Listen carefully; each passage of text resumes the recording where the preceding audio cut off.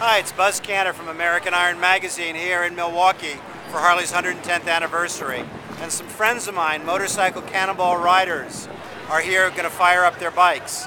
Uh, starting, uh, I don't know what order they're going to be, but one is Pat Simmons of the Doobie Brothers. He rode out here from Sturgis in a 1914 two-speed Harley.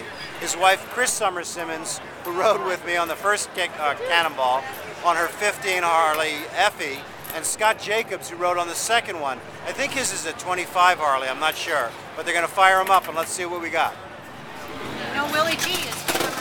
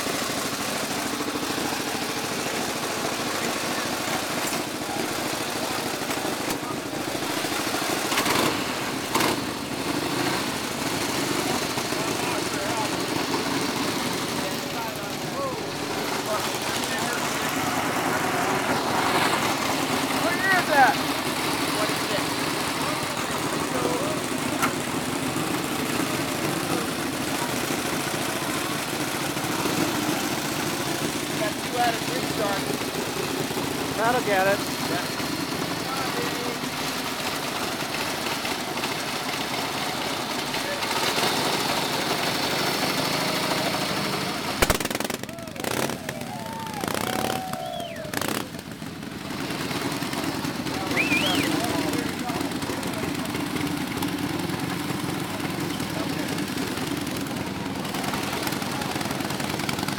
That.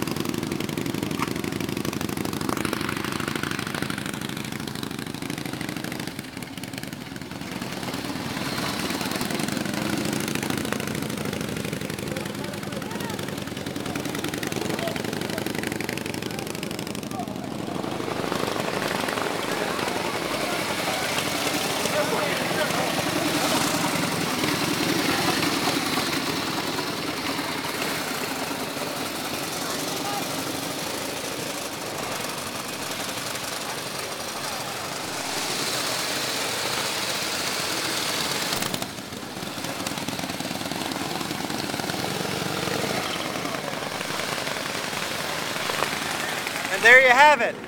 Scott Jacobson, the famous Scott Jacobs, the famous painter.